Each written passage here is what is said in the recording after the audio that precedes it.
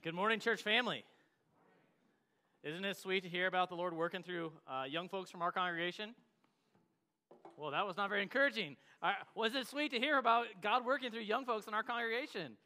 Amen, right? Yeah, and I think I'm qualified at this point in my life to call Sam and Tara and Lizzie young. So there you go. I hope that, that their testimony, their example would be a challenge for us to be on mission, to be taking the gospel, the hope of Jesus Christ to the nations those who are near, those who are far. Right? Jesus said that the mission and the fields are ripe for the harvest. Well, if you're new here this morning, I want to welcome you and uh, thank you for joining us. My name is Nick Lees. I have the privilege of studying God's Word with you this morning, and we're jumping right back into our study of the Song of Solomon. Now, this is week two of this series. We kicked it off last week by taking an overview of the entire book. And so, if you weren't able to be here or listen to it during the week, would really encourage you to go back and listen to that sermon because it will help you understand and connect the dots in the rest of this series. But as we discussed last week, the Song of Solomon has a lot to say about biblical sexuality. And we define sexuality this way it's our capacity and even design for sexual feelings. And when it comes to sexuality, we heard that there are two options or two ways that you can go on this issue. Right? You can either live according to God's word and, and his ways, or you can live according to the world's views of this and their ways. And God's ways lead to life, but the world's ways lead to death. And we actually took some time last week, just briefly, to kind of survey the wreckage that we've seen both inside and outside of the church as people pursue alternatives to God's design for sexuality. In fact, we, we heard that there's eternal consequences in some cases of getting this wrong. So uh, these are serious matters, and there's a lot that's at stake here. So, without shame, over the next four weeks, we're going to spend uh, that time studying God's ways and His design for sexuality. Because we want life, right? We don't want death. We want healthy, enjoyable relationships, especially in marriage. And the Song of Solomon is going to show us the ideal of marriage that is beautiful and attainable, even in our broken and sin cursed world. So, as we uh, jump back in today, I just want to remind you that the Song of Solomon is poetry, which means that it's full of evocative imagery. Uh, it's not always to be taken literally. So, we're going to need wisdom as we study it together and as we seek to interpret it correctly. So, I wanted to start our sermon uh, by praying for wisdom. Would you bow your heads with me as I ask the Lord for wisdom? Heavenly Father, we thank you for your word. Thankful that you've protected it and preserved it through the, through the years and that we can study it here today together. And uh, Lord, we're thankful for Song of Solomon specifically. And understand, Lord, that um, we need to do diligent work in order to understand it and apply it well to our lives. And so we ask right now for your help in doing that. We ask for wisdom and understanding it correctly. And then we ask for the boldness and courage to apply it to our lives, that we wouldn't walk out of here the same as when we came in but we'd be challenged and encouraged and equipped to better honor you in this particular area of our lives. We pray this in Christ's name. Amen. Well, go ahead and uh, get your Bibles and turn to the Song of Solomon, and I'll invite our ushers forward. If you need a Bible, you can throw your hand in the air, and they'll give you a blue Bible to use this morning. And if you have one of those Bibles, you'll want to turn to page 323. That'll get you to the Song of Solomon, chapter 1. And today, as we study, we're going to cover the first two chapters of the song. And how we're going to approach is I'm going to read it aloud for us, all of chapter one and two, and I'll take some time to pause at different points and, and give a little bit of commentary on what we're reading.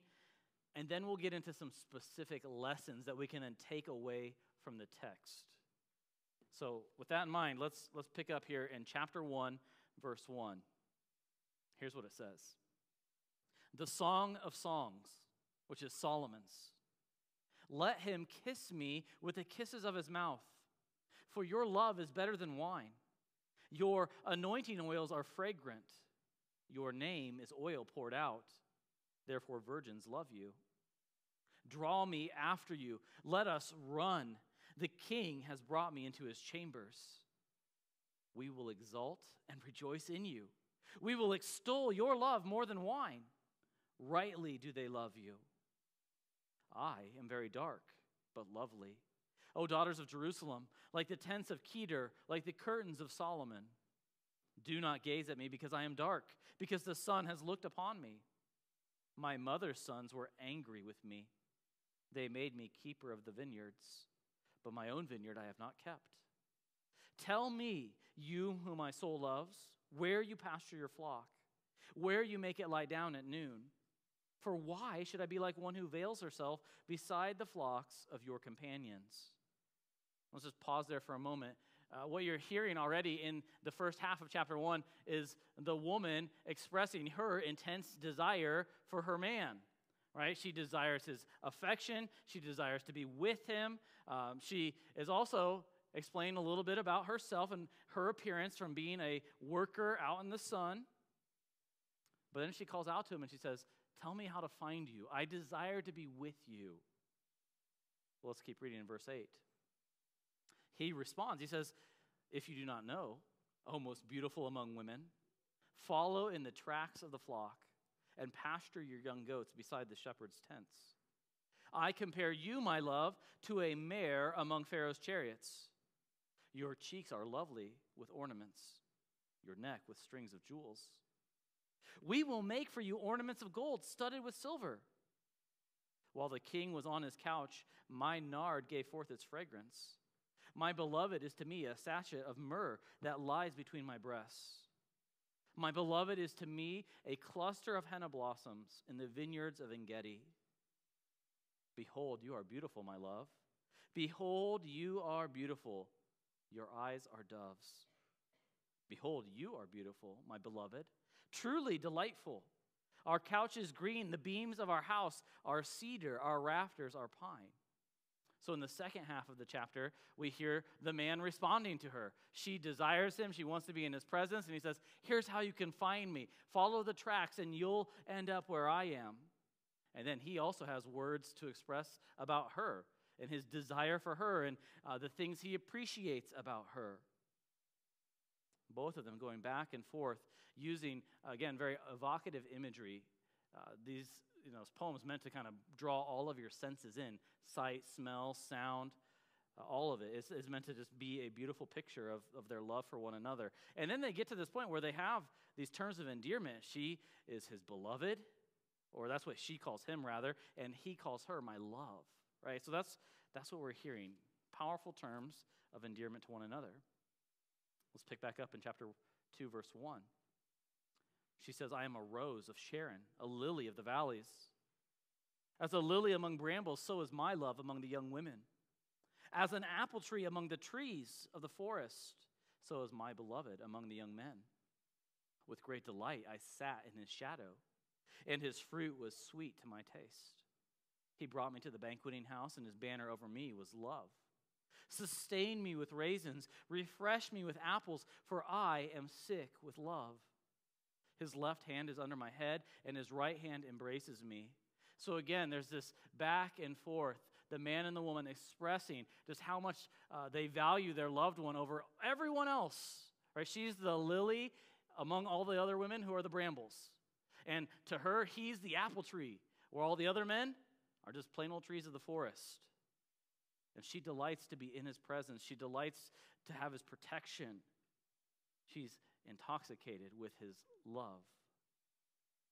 Then in verse 7, we hear this I adjure you, O daughters of Jerusalem, by the gazelles or the does of the field, that you not stir up or awaken love until it pleases.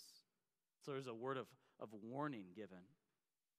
She continues The voice of my beloved, behold, he comes, leaping over the mountains, bounding over the hills. My beloved is like a gazelle or a young stag. Behold, there he stands behind our wall gazing through the windows, looking through the lattice. My beloved speaks and says to me, right? You begin to feel some of the anticipation, like some of the desire? She's so excited that, that she spotted her loved one and he's coming to her, and she's excited to hear his voice. And here's what he says Arise, my love, my beautiful one, and come away. For behold, the winter is past, the rain is over and gone the flowers appear on the earth, the time of singing has come. And the voice of the turtle dove is heard in our land. The fig tree ripens its figs, and the vines are in blossom. They give forth fragrance. Arise, my love, my beautiful one, and come away. So he's inviting her. He's saying, Look, spring has sprung, new life is everywhere we have to look. You know, again, I meant, meant to give you these, these beautiful visuals the flowers blooming, the fig trees blossoming, right? The fragrances coming to your, your nose. Like powerful imagery of he is wanting to be with his loved one and enjoy God's creation. He continues, Oh, my dove, in the clefts of the rock, in the crannies of the cliff, let me see your face. Let me hear your voice. For your voice is sweet, and your face is lovely.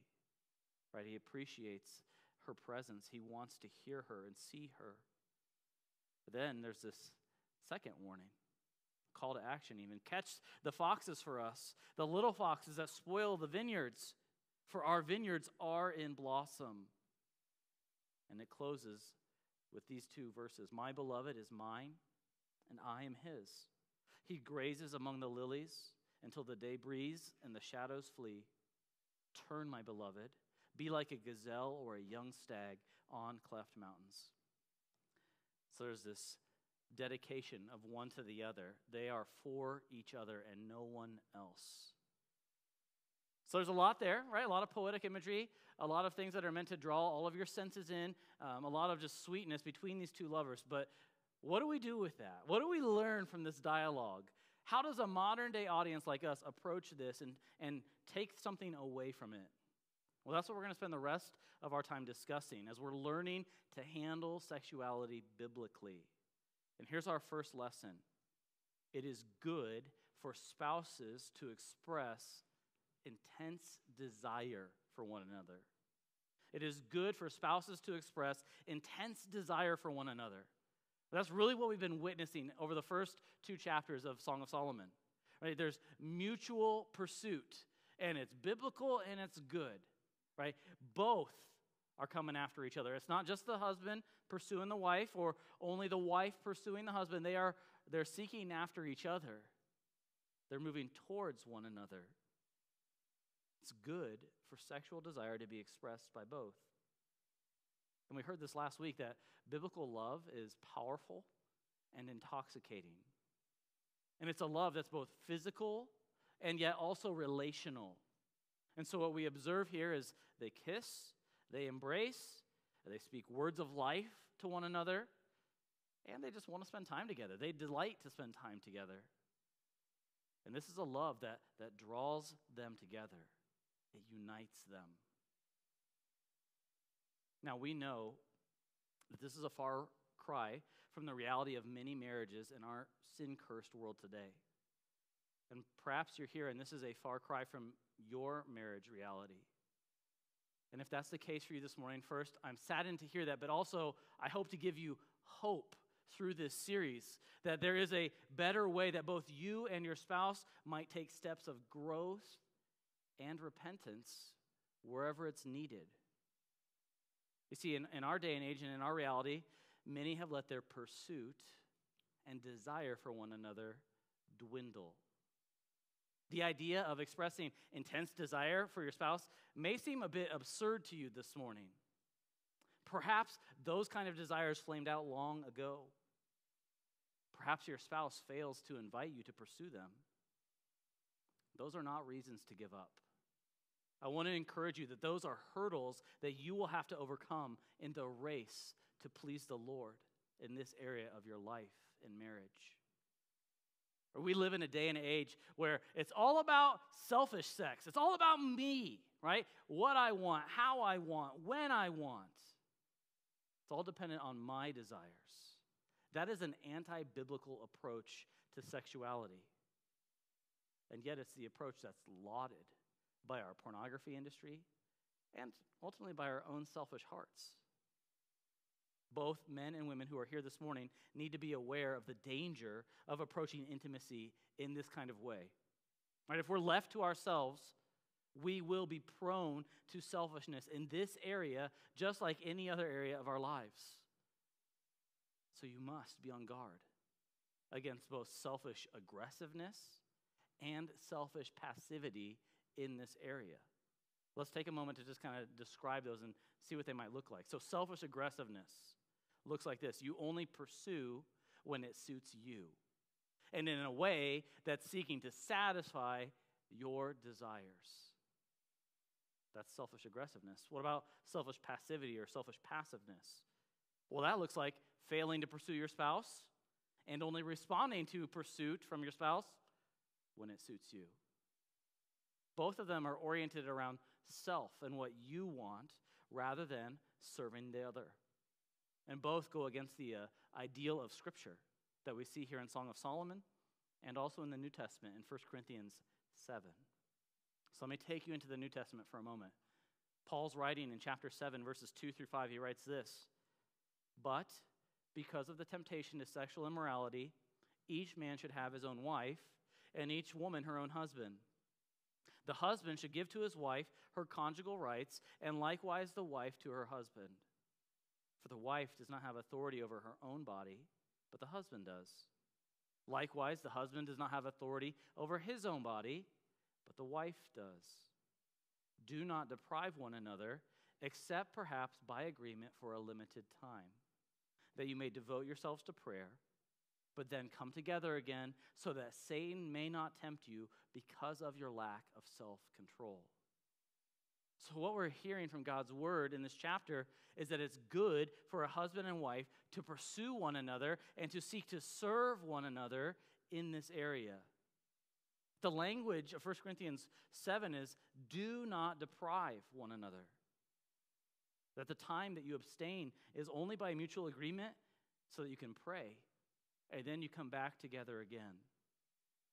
Now, why do you think that God would put such a priority in His Word on regular, ongoing marital intimacy? Why would He emphasize that in some part of His Word? Well, He tells us right here in that passage so that Satan may not tempt you because of your lack of self control. This is a protection against the wiles of our enemy. Regular, selfless pursuit of your spouse protects them from temptation to sin. Sexuality is a part of our design, and it is a powerful part of our design. When used appropriately as God has designed it, it brings a couple together. It unites them and it continues to protect their marriage for a lifetime.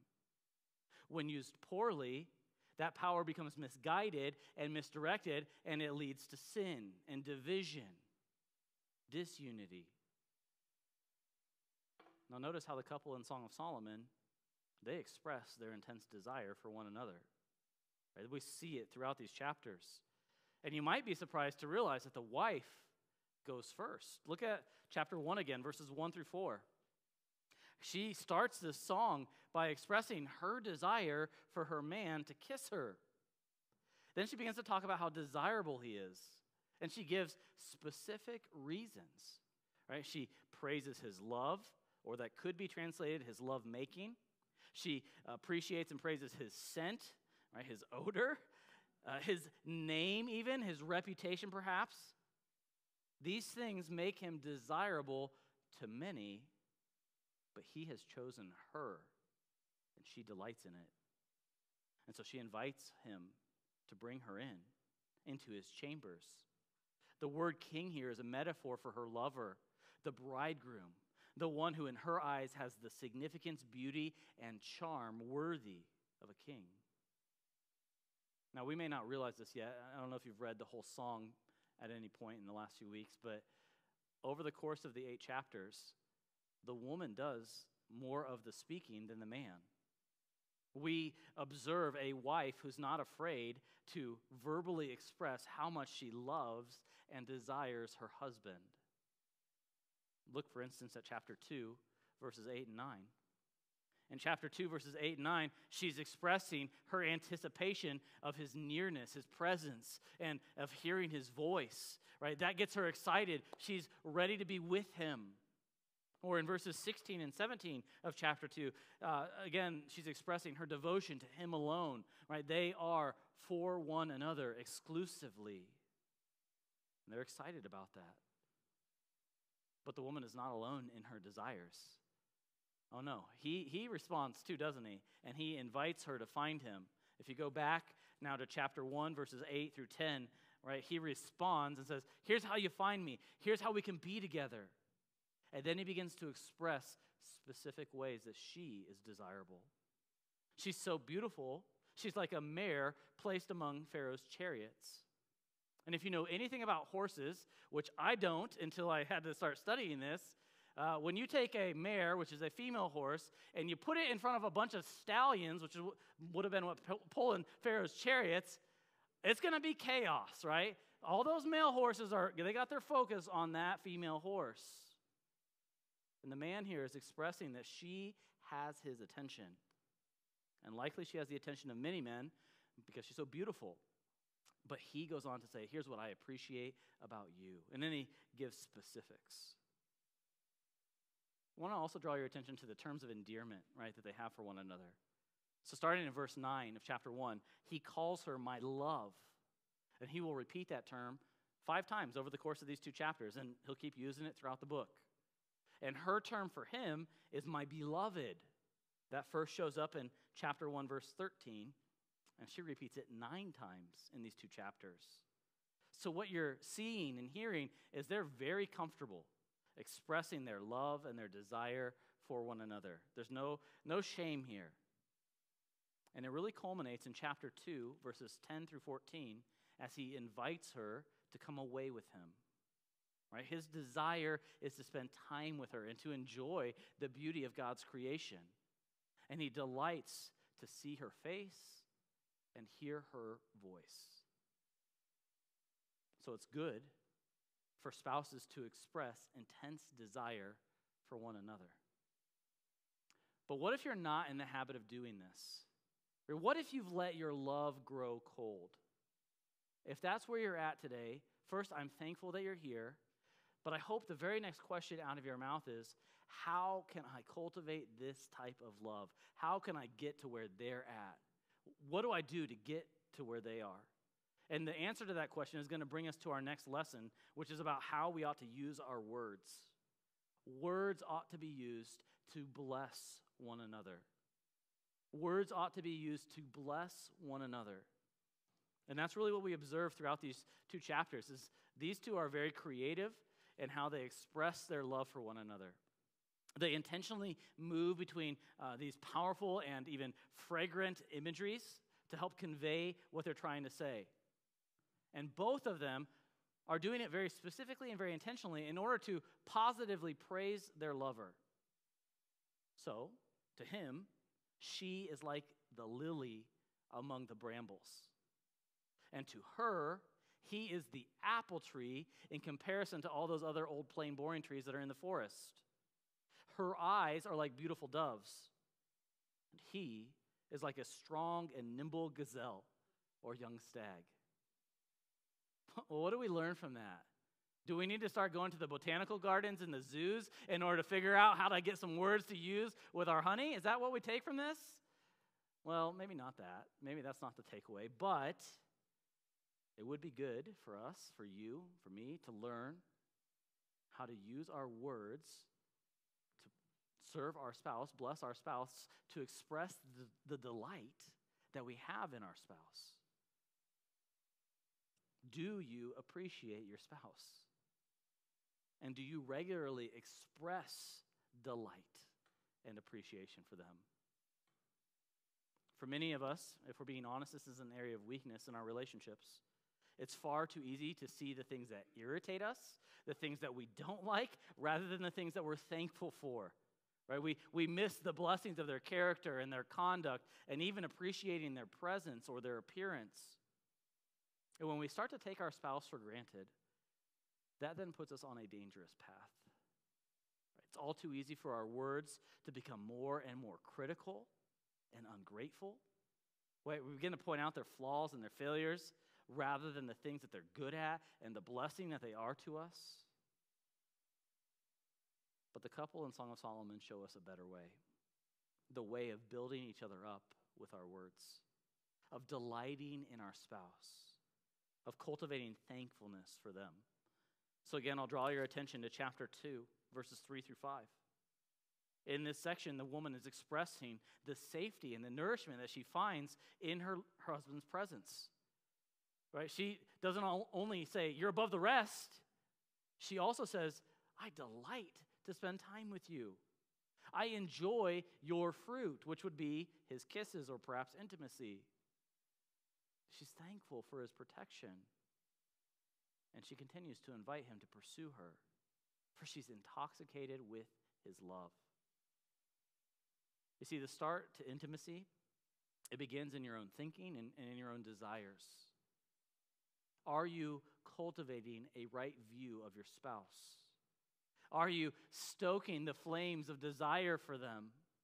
And then are you giving expression to those right views and desires so that they know that you love them and that you desire them?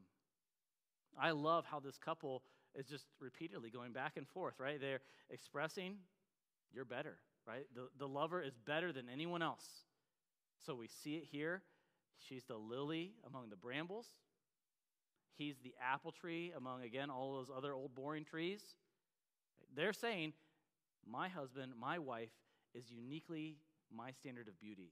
She is the standard of beauty to me. He's the standard of handsomeness to me. So in my life, Michaela Lees is the standard of beauty.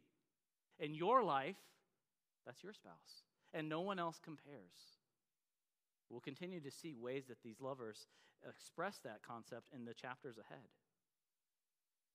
So, again, it's good for spouses to express intense desire for one another, and words ought to be used to bless one another. Those are the two positive lessons that we're going to take from the chapters today. But now we've got to turn our attention to two negative lessons. And when we say negative, I'm not talking about like bad lessons, but rather lessons that are meant to warn us, to protect us from dangers that we, we need to avoid. And so the first one of these is found in chapter 2, verse 7. Turn your attention there, we'll read it again. It says this I adjure you, O daughters of Jerusalem, by the gazelles or the does of the field, that you not stir up or awaken love until it pleases. Here's the lesson heed the warning about rightly aroused passions. Heed the warning about rightly aroused passions. And we know this, that as humans, it is easy to misuse sexuality. It's hard at times to handle it rightly. Because these desires are so powerful, it's tempting to use them inappropriately both inside and outside of marriage. So, for example, it is inappropriate and ungodly to tempt others.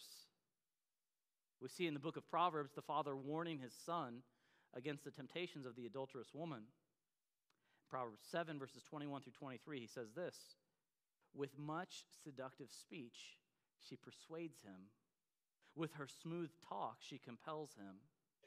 All at once he follows her, as an ox goes to the slaughter, or as a stag is caught fast, till an arrow pierces its liver. As a bird rushes into a snare, he does not know that it will cost him his life.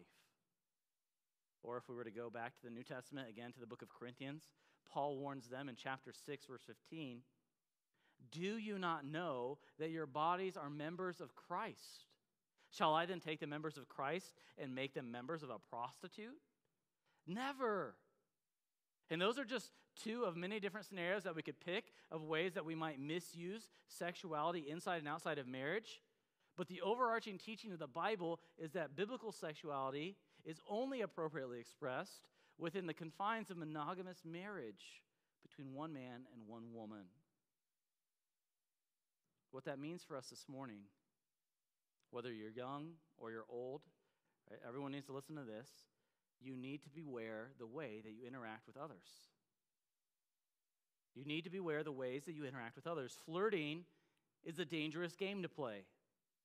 It doesn't matter whether you're a teenager or an adult here this morning. It's a dangerous game to play. What is the aim of flirtation? Right, you want the attention of the other person, and perhaps you want them to desire you. Right, you're arousing passions that cannot be righteously fulfilled which is unwise and it very quickly turns to sin. As Christian men and women, we must protect one another.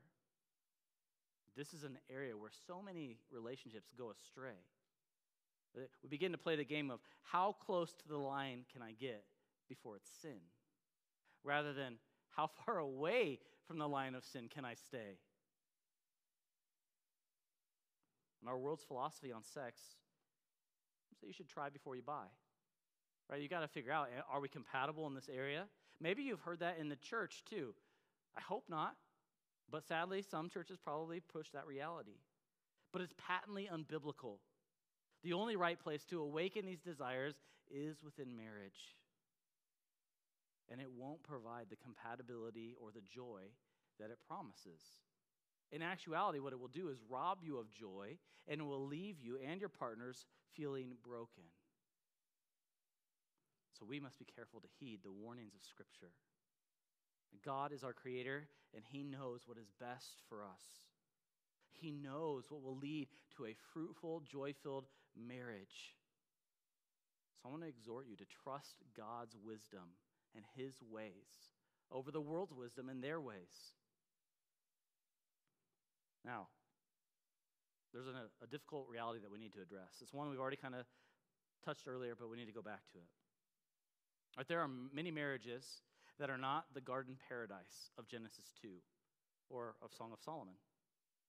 Conflict and divorce are at high rates, and frankly, the odds are that there are many marriages, even here in the room today, that are struggling in some form or fashion. It's just the difficult reality of our sin cursed, broken world. And perhaps you're here and you, you started strong, right? You handled dating and engagement well. You went to premarital counseling. And you, you sought to start your marriage off on the right foot with trusting the Lord. But somewhere along the way, compromises began to occur. So communication began to fall apart. Conflicts were not being resolved quickly or even at all. Silence began to replace the conversation around the dinner table, and intimacy became a thing of the distant past. For others, maybe your marriage began without Christian influence or guidance. Perhaps you began your physical relationship long before the wedding day, and the luster's worn off over the years.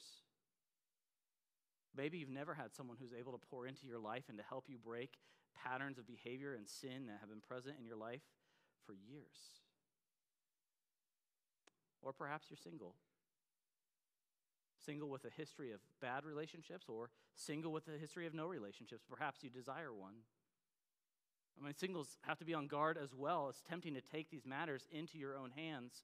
I'm going to be the one who determines my relationship status. I'll find the one. And we fail to trust God in the journey. That becomes a dangerous pursuit as well. Now, the hope for each one of these scenarios is Jesus. Jesus, no matter what your circumstances may be, no matter how broken and beyond repair or hope they may seem to you, no matter what kind of baggage that you have from your past or even in your present, Jesus is your hope. He is the Redeemer. He's the one who takes our sin and our brokenness and by faith makes us new forgives us of our sin. And by the power of his redeeming love, he can change you, he can change your spouse, he can lead you back to a place of unity again. And even if your spouse doesn't want to come along for that journey, Jesus can bear the burden and he can provide you with satisfaction that endures even in the face of great trial. And that's true whether you're married or single. He can satisfy you no matter what your situation is, no matter what you're wrestling with. Your hope cannot be in your marriage being restored, or your spouse changing, or your relationship status moving from single to married. Those things are not meant to bear the weight of your hopes. As one author puts it, those are stairs of sand. They will collapse beneath the weight of your hopes and expectations. They were never meant to bear them in the first place. Only the one true God can bear the weight of your hopes and expectations. And only He can sustain you when life feels like it's falling apart all around you. So Jesus must be your hope. Not only when things are going your way, but especially when they're not going your way. So, if your spouse never changes, will you trust and hope in Christ? Will you believe that He is doing a good work in your life through that trial? Will you continue to obey His call for you to be a godly, loving spouse? Or if your situation is that you're single, will you trust Him to be a godly, loving single person? Do not make your faith and your obedience to the Lord conditional on Him doing what you want Him to do. That's not Christianity, it's idolatry. That's us making God into our own image of what we think He ought to be like. And God addresses the possibility of sin in marriage here in the Song of Solomon. We actually see hints of it in verse 15 of chapter 2. So let's go back and look at verse 15 here. I'll read it again. It says this Catch the foxes for us, the little foxes that spoil the vineyards, for our vineyards are in blossom. We brought this passage up last week briefly, just to point out that foxes are very destructive. When, they're chasing after their prey, they don't care what's around them. They don't appreciate the beauty of a vineyard. They'll dig and they'll uh, go all over the place to scavenge for what they're wanting. And the point here is that there are a lot of threats to marriage that need to be caught and rooted out before they destroy the beauty of it. So let's learn the final lesson that we have for today, and it's this Beware the little foxes that will wreck your marriage. Beware the little foxes that will wreck your marriage. Now, what are, what are some examples of these little foxes? We could probably spend the rest of the day and well into the week talking about all the different answers to that question, right? There are a lot of them. As I was thinking about this and, and weighing this, there are a few that I wanted to draw our attention to today, and certainly we can get into others in future weeks. But how about this? The little fox called lust. We hear, do not covet your neighbor's wife, and you shall not commit adultery in the Big Ten, right? The Ten Commandments for a reason. Unchecked desire for someone other than your spouse will wreck your marriage. So you need to flee from this and cultivate an intense desire for your spouse. How about the little fox of greed? Ephesians 5 3 has always been a, a favorite verse of mine about just purity and holiness, but often I found it's easy to overlook that last word, covetousness, or other translations would say greediness. So let's look at Ephesians 5 3 together. It says this But sexual immorality and all impurity or covetousness must not be even named among you, as is proper among saints. A constant desire for more, of wanting uh, more in your life, or a discontentment with what you have, will wreck your marriage. It could be a desire for more money or more possessions or a certain standard of living that leads you to be married to your job rather than your spouse. It could be that you want more me time and so I need my hobbies. I need to have time to do what I want, and that leads to distance from my family and from my spouse. There's just a number of ways that greed can get in the way of a healthy marriage. Well, what about the little fox of selfishness? Typically, marriage is the great revealer of selfishness. When I was a college student engaged to Michaela, getting ready for our wedding day, uh, I had a, a, number of friends that got married a year or two ahead of me. And so I asked them, without them knowing, I asked each of them separately to the men, hey, what have you learned in your first year of marriage? And it was amazing how consistent the response was without them knowing it. But all of them, without fail, said, how selfish I am. Right? Because the reality is, is that when we're living by ourselves, uh, we kind of do things how we want, when we want. But then when you get married, and you, you suddenly share everything and are under the same roof together all day long, every day, you begin to see how selfish you are. Right? It reveals that about us. And it's a stretch, it's a challenge to die to self in order to serve our spouse. And if we're not intentional to start dying to self on day one, guess what? It's a whole lot harder on day 10 or day 100 or day 365. We, we establish patterns that are not, not good, not helpful. And, and selfishness is really the bent of our sinful heart. We need the Lord to help us and in order to, to fight against it. It comes far too easily to think about me and what do I want rather than about you and what would serve and bless you. But thankfully, Christ's example for us is of laying down his life for the good of his bride. He models selfless sacrifice for us. And that's our calling to selflessness, not selfishness. How about the little fox of pride? And pride is certainly closely related to everything that came before it. It's often called the root of all sin. It's the exaltation of self. It's, it's putting ourselves in God's position, essentially, and acting like everyone else and everything else needs to cater to us. So, in a marriage, pride looks like never being willing to admit your fault in a problem. It sounds like constantly blaming your spouse for whatever's going on. It leads you to put your own priorities first as if they're the most important. And it's unwilling often to be corrected or shown a better way. The last little fox we'll look at this morning is sinfully used emotions. Sinfully used emotions. Now, emotions are a good thing, they're God given, uh, they're not inherently bad. However, it's very easy for us to twist them for sinful purposes, to try to use them to control or to manipulate situations to go the way that we want. So, for example, with anger, instead of it being a strong rush of energy to help us solve a problem that's in front of us, we take it and we twist it and we use it to batter down all of the opposition and to get our way and to make them shut up and do what we want. And sadness, instead of being an appropriate response to sin and suffering, then gets twisted and manipulated to be this technique to get you to feel bad about me and, and to get you to forget about whatever it was that originally started this whole problem in the first place. These are ways that emotions can be twisted and used sinfully, and done that way, they will wreck a marriage. So that's a quick survey, right? That's not all of them, but that's some of them. We'll talk about future breeds of foxes in future sermons. But here's what I want you to take away as we as we kind of land the plane today. When you see these types of little foxes in your relationships, ask others for help in catching them. You may not notice this from our English translations here, but verse 15, the verb catch is plural.